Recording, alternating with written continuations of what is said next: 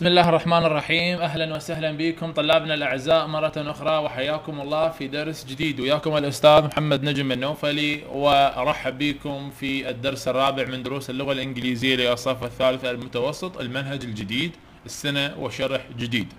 المحاضره السابقه مثل ما عودتكم بالمحاضره السابقه نسوي مراجعه على الماده اللي اخذناها بالمحاضره السابقه اخذنا موضوع ال reasons اللي هو الأسباب وقلنا هاي القاعدة تحفظها. هاي القاعدة ممكن تجيك اختيارات. يعني مرة سنة من السنين جابوا الامتحان. بالامتحان قال لك ال cars have GPS السيارات عندهم GPS so that وبذلك يو كانت لو كان جيت لوست يو كانت لو كان قايل لك. أنت هنا راح تختار كانت هنا راح تختار كانت هذه هي قاعدة تحفظها. يعني ما ما بيها ما بيها نقاش. فهذا أخذناها بالمحاضرة السابقة أيضا أخذنا بالمحاضرة السابقة أيضا أخذنا في محاضرتنا السابقة موضوع واللي هو المعاكسات وذكرنا شلون تحفظها من خلال التكرار وقريت لكم اياها وامتحنا واليوم امتحانكم به إن شاء الله الساعة الثالثة ظهرا بعون الله. بالإضافة إلى موضوع التعاريف وحنا حليناها لكم التعاريف بالمحاضرة السابقة مع إعطاء مفتاح حل لكل جملة حتى تسهل عليك. طيب وهذه المادة اللي أخذناها اليوم بكرة إن شاء الله اليوم عفوا راح يكون عندنا امتحان بيهن آه على قناتنا على التليجرام. فاهلا وسهلا بالطلاب اللي هم حاضرين ويانا من قبل واللي انضموا وجددوا ويانا. فكل الهلا بكم وألف ومرحبا بكم. طيب اليوم اليوم طلابنا الأعزاء راح نشرح موضوع ال polite way اللي هي الطريقة المهذبة. شلون تتكلم بطريقة مهذبة بحيث ما تجرح الآخرين. خلينا نتوكل ونقول بسم الله الرحمن الرحيم ونبدأ بأول موضوع اللي راح ناخذه اليوم وهو موضوع قلنا الطريقة المهذبة. طلابنا الأعزاء موضوع الطريقة المهذبة شلون تتكلم بطريقة مهذبة؟ عندك أربع قواعد. أربع قواعد. هذه الأربعة تجيك لازم تعرف الاربعه أو قواعد لازم تحفظهن ولازم تعرف بالامتحان شو تخلي شلون راح تحلها صراحة أفهمك شلون راح تحل اولا عندك الأبت. شنو يعني أبت؟ اكتب يمك ملاحظة. اكتب يمك ملاحظة. اكتب يمك ملاحظة. إذا كانت الصفات متشابهة إذا كان الصفات بالجملة متشابهة صفات عندي متشابهات.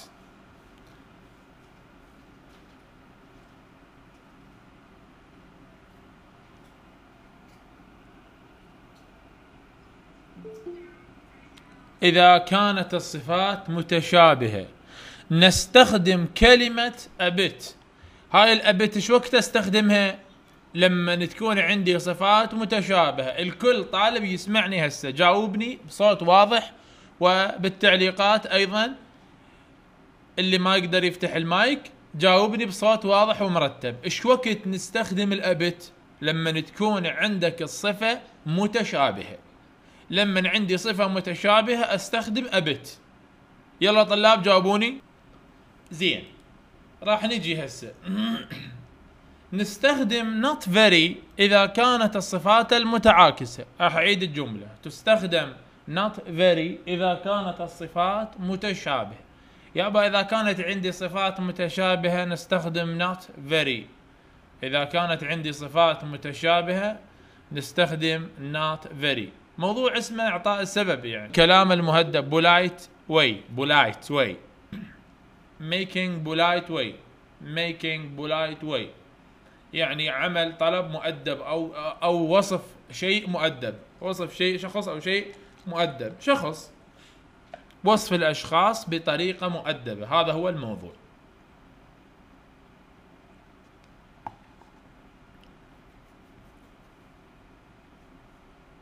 طيب. اذا تستخدم الأبت وال not very ال a bit ويا الصفه المتشابهة ال not very ويا الصفه المتعاكسة. ال not very تستخدم ويا صفة المعاكسة. وعندك الكانت كانت تستخدم وياها very much هسه بس خلي أسألكم على الثانية. إيش وقت أستخدم ال not very جاوبوني بالتعليقات يا أبطال. polite way هذا موضوع عليه أربع قواعد.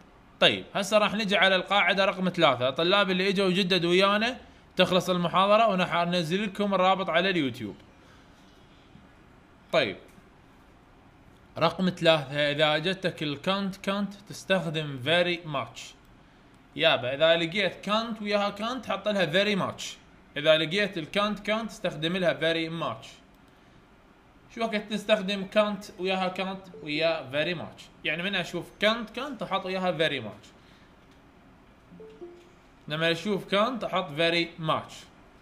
very much.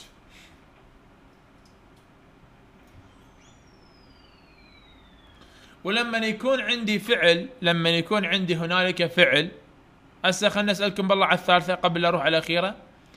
شو وقت أستخدم الكانت كانت أو شو وقت أستخدم ال very much شو وقت استخدم ال very much؟ لا من الابطال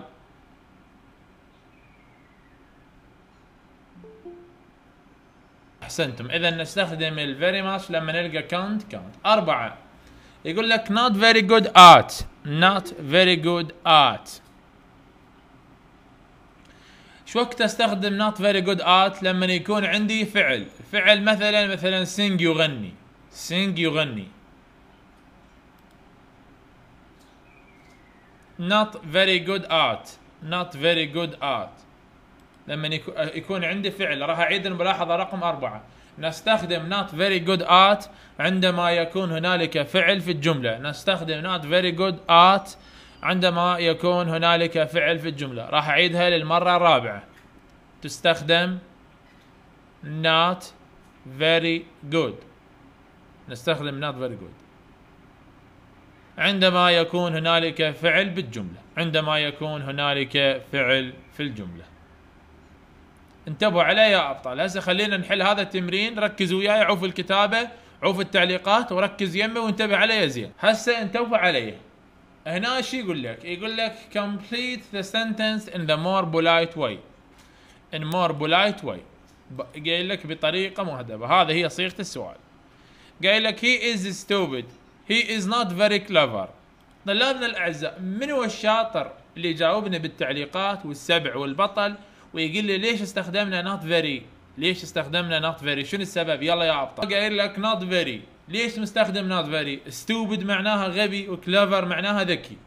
أحسنتم يا أبطال لأن الصفة متعاكسة. وإحنا قلنا لما يكون عندي صفة معاكسة إيش راح أستخدم؟ إذا كان عندي صفة متعاكسة لأن آه أحسنتم. اذا نستخدم ال not very لما يكون عندي صفة متعاكسة. جيد جدا يا أبطال. جيد جدا يا أبطال. نجي على الجملة الثانية. هنا بالفراغ ليش مستخدم a bit؟ ليش مستخدم a bit هنا؟ يلا من يقول لي؟ إيش بيها الصفات؟ يلا يا شطار. من يجاوب لأن صفات متشابهة. والله شطار أنتم. أقسم بالله العظيم أبطال. عافية عافية بالشطار عاشت ايدكم كلش زين. إذا استخدمنا a bit لأن عندي lazy متشابهة. لأن عندي lazy متشابهة.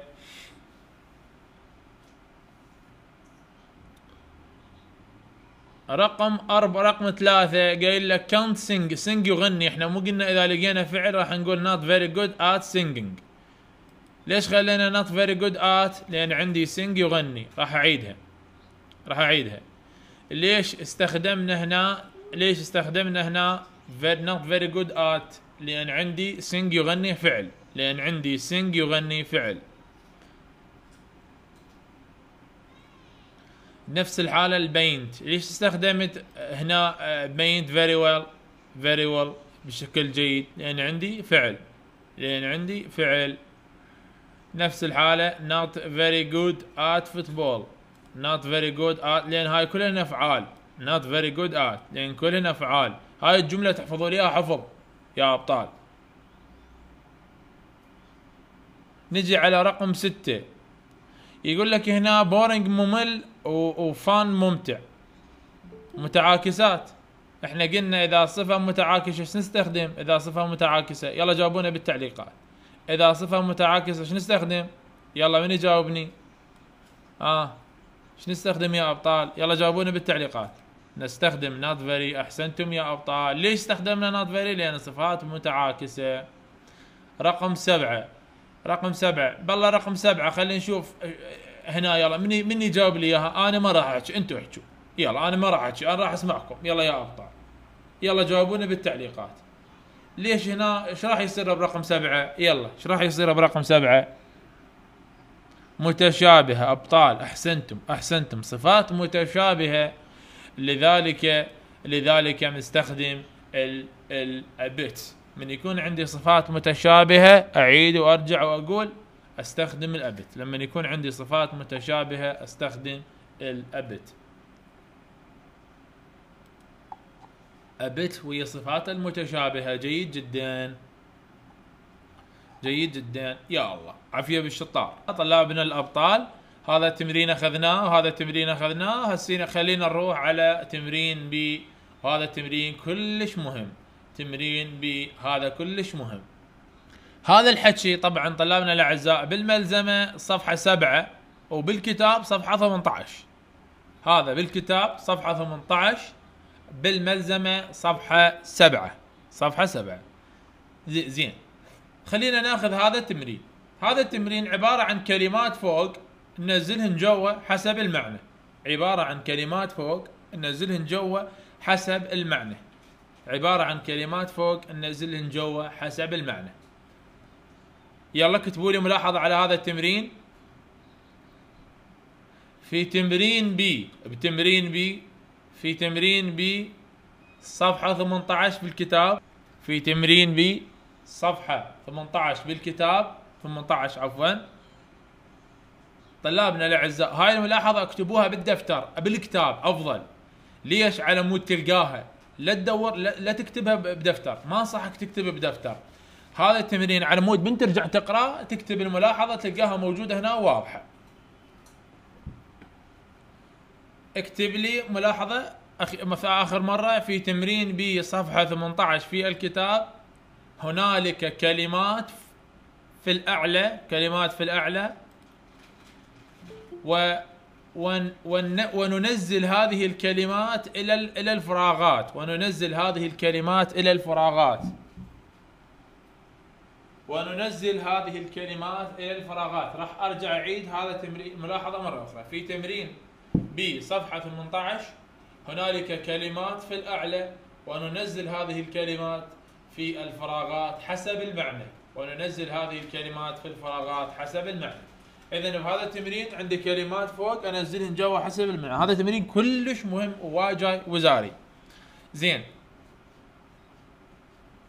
زين هسه راح نجي. شلون نقرأ هذا التمرين؟ شلون نقرأ هذا التمرين؟ اكتب يمك على طريقة الأستاذ محمد النوفلي. اكتب لي يمك على طريقة الأستاذ محمد النوفلي مفتاح الحل. على طريقة الأستاذ محمد النوفلي مفتاح الحل. على طريقتي بطريقة مفتاح الحل. طيب شلون نقرأ هذا التمرين يا أبطال؟ يلا ويا كلكم. شلون نقرأ؟ على طريقة الأستاذ محمد نجم النوفلي بطريقة المفتاح الحل. نعم بالضبط. كلمات فوق ننزلهم جوا. إذا من خلال مفتاح الحل أحسنتم يا أبطال.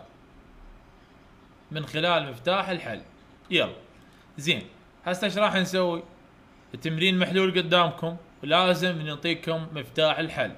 لازم نعطيكم مفتاح الحل. طيب هسه أنت إيش راح تسوي من تريد تحل؟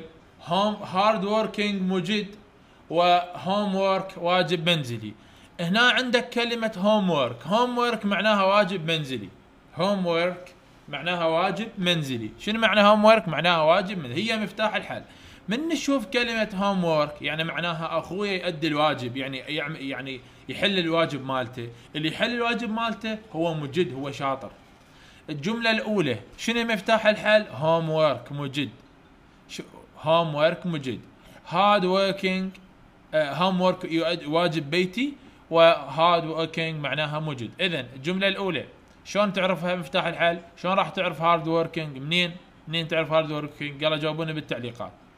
مفتاح الحل homework من خلال مفتاح الحل ال homework مفتاح الحل homework أحسنتم يا أبطال.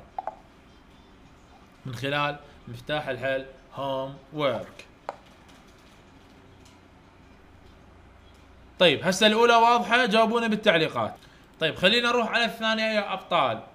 الجملة الثانية عندك 1 1 معناها ربح يربح. شربح يربح الجائزة. طيب الجملة الأولى شنو مفتاح الحل؟ مفتاح الحل won يربح prize جائزة. إذا الجملة الثانية مفتاح الحل won يربح won نفس واحد بالضبط نفس كلمة one واحد. won يربح prize جائزة. prize جائزة. آه يلا يا يا أبطال. الجملة الثانية شلون عرفناها prize جائزة؟ شلون عرفناها؟ شلون عرفناها؟ من خلال ال won يربح. يربح الجائزة. مفتاح الحل هو 1 يربح أحسنتم. مفتاح الحل هو 1 يربح الجائزة.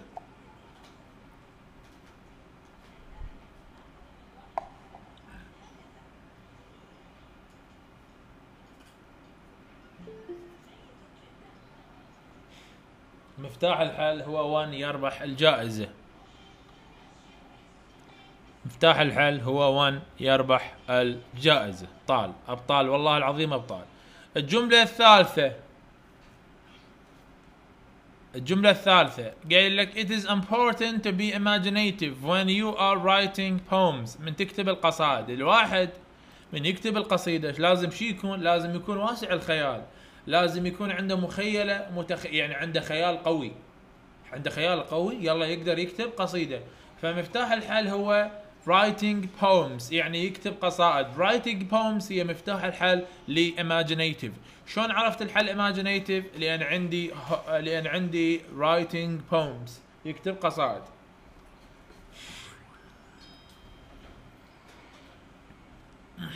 لأن عندي writing poems يكتب القصائد.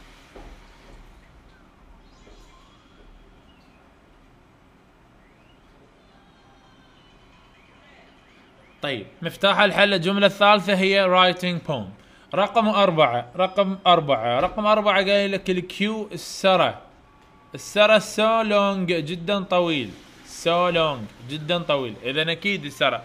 شنو مفتاح الحل؟ so long طويل. يعني خما خما آه، شاعر طويل خما جائزة طويلة خما آه، المجد طويل. لا هي السرة طويل. The queue was so long. السرة طويل. حددت لكم إياها writing poem بالجملة رقم ثلاثة آخر شيء. آخر شيء هي مفتاح الحل. writing poem هي مفتاح الحل. رقم أربعة. The queue السرة was so long. كان جدا طويلا. It came out of doors. It came It came out of door. هنا عندك so long. من نشوف كلمة so long معناها طويل. جر لي خط جواها واكتب عليها مفتاح الحل. مال queue السرة مفتاح الحل لكلمة queue السرة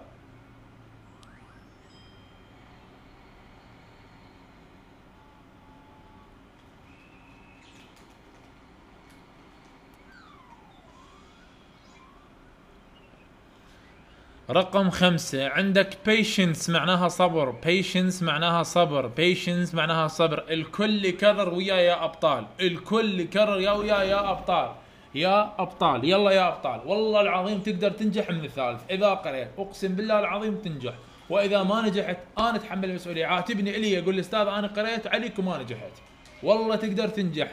بس شو أقول لك علي سوي. I have a lot of patience. قول وياي patience صبر patience patience صبر patience صبر. عيد اللفظ وياي. patience صبر patience صبر patience صبر patience صبر. يلا يا أبطال. patience صبر. حلو. نجي. هاي الكلمة patience صبر. ويا من؟ ويا ويا ال children ويا الأطفال. آه. شنو مفتاح الحل؟ children أطفال. من أشوف كلمة children أطفال. أحط وياها patience صبر. لأن الأطفال إيش يردون؟ يردون صبر. الأطفال إيش يردون؟ يردون صبر. الجملة رقم خمسة. مفتاح الحل هو children أطفال. والحل الصحيح patience صبر. patience صبر. ورقم ستة. رقم ستة رقم ستة يقول لك famous poet شاعر مشهور. الشاعر دائما شو يصير؟ شاعر. شاعر شو يصير؟ مشهور. شنو مفتاح الحل؟ famous. من نشوف كلمة famous تحط وياها poet شاعر. من نشوف كلمة famous شاعر تخليها poet شاعر. poet poet شاعر. اذا poet شاعر poet شاعر famous مشهور. رقم ستة famous مشهور. poet شاعر. اذا famous poet. من أشوف كلمة famous أحط وياها poet. هي مفتاح الحل. مفتاح الحل هو famous مشهور. كل كل طالب قاعد دخل وياي دورة هنا بهاي الدورة راح يضمن نجاح إن شاء الله بفضل الله سبحانه وتعالى مو فضلي. شكو شيء أقول لك على اللي يسوي. والله العظيم تنجح والله. ما يوم حياتي كلها درست الطالب والله. والله ما يوم كله درست الطالب وقرا ورسب والله العظيم أي طالب يقرأ وياي ينجح. أي طالب. فضل الله سبحانه وتعالى مو إلي. حياكم الله. كل الهلا بيكم ألف هلا بيكم أبطال. اليوم شو أخذنا بهذا درسنا؟ اليوم شو أخذنا؟ أخذنا مال ال polite way. هاي كلش مهم هذا الموضوع. قلت لكم اقروا لي إياه. وطبعا هذني هم اريدك تقروا لي اياها he is ugly he is not very good هاي هم هم تقروا لي إياها. طبعا هنا أيضا شوفون هاي ugly قبيح good look جميل متشا... متعاكسات. إذا متعاكسات إيش نستخدم؟ يلا يا أبطال جاوبونا بالتعليقات. هذني متعاكسات. إيش نستخدم؟ يلا من يجاوبني يا بطل؟ يلا من يجاوبني؟ من أول واحد يجاوبني يا شاطر؟ حلو. زين هسه هنا طلابنا الأعزاء الجملة الثانية هم شورت بشورت. هنا ليش مستخدم لي ابت ها ليش؟ من يجاوبني يا بطل؟ آه يلا من يجاوبني أول واحد؟ من أول واحد يجاوب؟ منو يا بطل؟ عافيه عافيه بالشطار. لأن متشابهة لأن متشابهة نستخدم الأبت نستخدم الأبت. و هذا التمرين أريد تقرونه يا أبطال يا أبطال.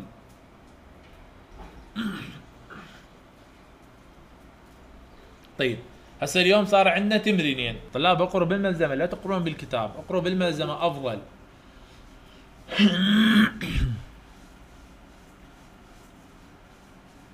طيب أحسنتم. طلابنا الأعزاء بس التمرين المهم أني آخذه. بس التمرين المهم. خلينا ناخذ الماضي المستمر زمن الماضي المستمر. بالإنجليزي past cont عفوا past continuous ماضي المستمر باللغة الإنجليزية past continuous يلا يا أبطال الكل يقرأ وياي. past continuous الماضي المستمر. past continuous الماضي المستمر. past continuous الماضي المستمر. الكل وياي يا أبطال. الكل يعيد ويقرأ وياي بصوت عالي. سواء هسه تسمعني بهاي اللحظة أو سواء باليوتيوب. هسه بعد سنة إيش وقت ما كان؟ التكرار يخليك تحفظ الجملة. يلا يا أبطال. past continuous ماضي مستمر. past continuous ماضي مستمر. past continuous ماضي مستمر. أحسنتم. أحسنتم يا أبطال.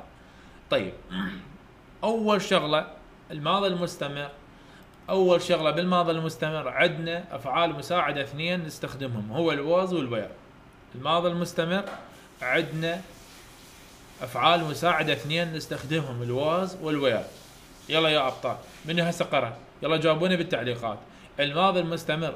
شنو هي الأفعال المساعدة مالته شلون تعرف الجملة هاي ماضي مستمر؟ يلا يا أبطال جاوبوني بالتعليقات. شلون؟ الواز والوير الواز ويا الهي والشي والإت والآي. يلا يا أبطال. ال I ويا من؟ الكل هسه يقرأ وياي بصوت عالي. الكل هسه يقرأ وياي بصوت عالي. الكل يقرأ وياي طلاب بصوت عالي. اريد ما أريد هوسة بس أريد أسمعكم. تقرون لو لا؟ يلا بس وياي. قول وياي. he. she it مع ال was يلا وياي he she it مع ال was الكل الهي والشي والات والاي يلا كلكم he she it كل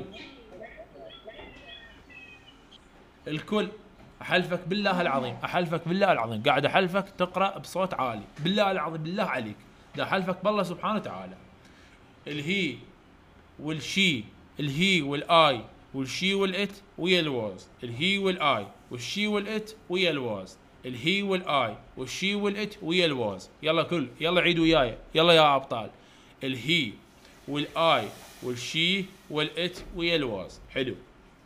اذا إيش وقت أختار ال was لما تجيني he I she it حلو. زين إيش وقت نستخدم ال were؟ ال were أستخدمها ويا ذي والوي واليو. الذير الوير أستخدمها ويا they وال you والوي والذي. they we you where they we you where اللي حاضر وياي من بداية الدورة. من حاضر وياي من بداية الدورة؟ تذكرون لما نطيتكم ضمائر الفاعل وقلت لكم مهمات؟ تتذكرون آه بالضبط أحسنت. إي. الطلاب اللي حاضرين ويانا من البداية. تتذكرون؟ أحسنتم. اذا هنا مو مو هذا مو آه أي إي we they we you. هذا هنا خطأ مطبعي. they we you تاخذ ال were. الذي والوي واليو تاخذ الوير. حلو. هسه عرفنا الأفعال المساعدة مال المفرد والجمع. ال was قلنا ويا المفرد وال were ويا الجمع. حلو. هسه راح نجي ناخذ القاعدة مالت الزمن. القاعدة مالت الزمن فاعل زائدا was أو were زائد فعل بي ing زائدا تكملة. خابا أنت تعرف ال was ويا من هسه وتعرف ال were ويا من خلينا نعيد القاعدة خلينا نحفظ القاعدة يا أبطال. قاعدة تقول فاعل was were فعل بي ing تكملة. الكل يعيد ويقرا وياي بصوت عالي. فاعل was أو were فعل بي ing تكملة. قاعد يقرأ. بالله عليكم من هو قاعد يقرأ بصوت عالي؟ بالله عليكم. دا أحلفك بالله. عافية. إي بصوت عالي عافية بجنات عافية بحسن عافية بحذيفة عافية عافية بفاطمة أحسنتم بصوت عالي. القاعدة مال الماضي المستمر شنو فاعل. was were فعل بي ing تكملة. يلا كلكم وياي. فاعل زائد was were فعل بي ing تكملة. فاعل زائد was were فعل بي ing تكملة. فاعل زائد was were فعل بي ing تكملة. هذه هي قاعدة الماضي المستمر. يلا من يعيد لي إياها بصوت عالي يا أبطال؟ يلا راح أفتح المايك وأريد طالب يعيد لي إياها بصوت اللي يقدر خليه يكتب اسمه بالتعليقات. يلا يا أبطال. اللي يقدر خليه يكتب اسمه بالتعليقات ويقرأ لي إياها بصوت عالي. من يقدر حفظها على الغير يلا اكتب لي اسمك اكتب لي اسمك. أريد اسمك. ها مرتضى ها مرتضى حفظت هاي الجملة؟ يلا مرتضى. افتح المايك. يلا مرتضى عيد ليها بصوت عالي.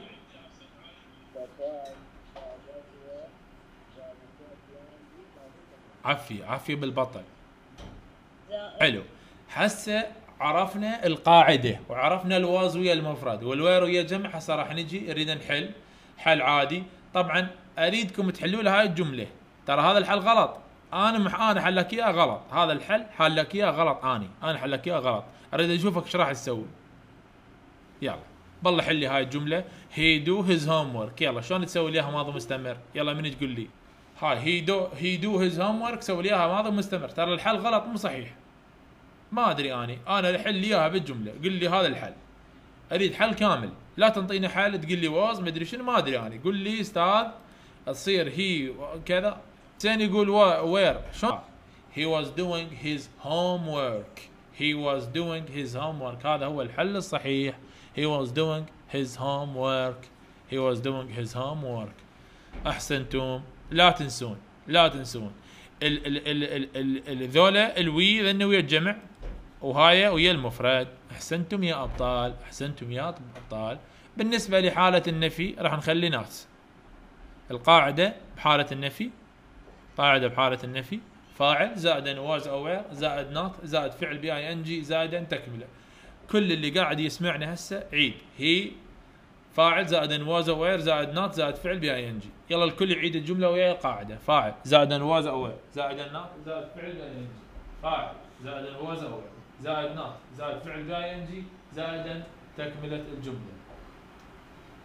فاعل زائد was أو were زائد فعل بي ing زائدا تكملة.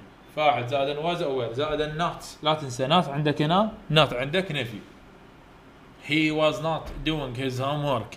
He was not doing his homework. هاي بحالة النفي. طبعا مثل ما تشوف خلينا not شوف الحل شلون صار. اللي هي نزلناها ال was مال القاعدة ال not نزلناها ال do خلينا لها ing his homework وهاي ترى أنا حلك إياها غلط. أريد أشوفك. أريد أشوفك. تنتبه عليها لو لا؟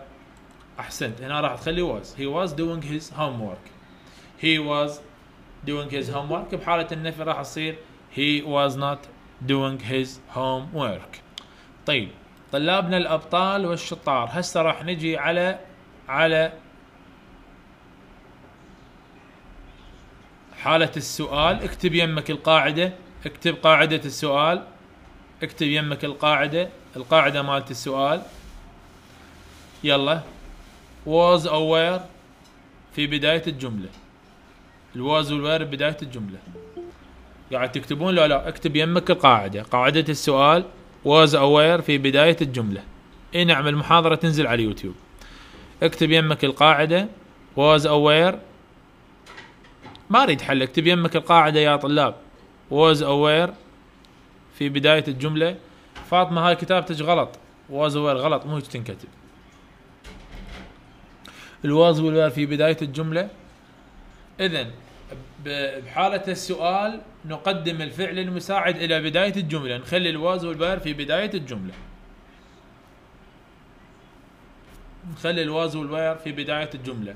He do his homework. صارت لك was doing. Was he عفوا. Was he هاي هم خطأ ترى دير بالكم. هاي كل أخطاء أنا مسويها. هاي كل أخطاء أنا مسويها. أشوفك تفتهم لو لا. يلا من يحل هاي الجملة بالله؟ do his homework من يحل اياها يلا يا أبطال. He do his homework من يحل هاي الجملة؟ يلا يا منو يا بطل؟ He was do doing his homework أريد السؤال شلون أسويها؟ Was he doing his homework? أحسنتم يا أبطال. عافية. عاشت ايدكم was he doing his homework? هذه هي حالة السؤال. أحسنتم يا شطار. بارك الله بكم هسه طلابنا الأعزاء لهنا خلينا نعيد شو أخذنا اليوم؟ اليوم بهذا الدرس أخذنا موضوع ال polite way polite way طريقة المهذبة وقلنا أربع قواعد عليها. الأولى صفة متشابهة a bit الثانية متعاكسة not very وإلى آخره. وأخذنا هنا أمثلة هاي تمرين أخذناه وحليناه. أخذنا أيضا هذا التمرين وانطيناكم مفتاح الحل على كل جملة. الجملة الأولى قلنا لك homework واجب منزلي hard working الجملة الأخيرة famous poet شاعر. هاي حلينا. وأخذنا أيضا الماضي المستمر زمن الماضي المستمر وشرحناه وحليناه وانطيناكم عليه أمثلة وأنتم حليتم. هذا الموضوع تقرأه كله زين وباكر إن شاء الله. امتحان عندكم بهذا الموضوع.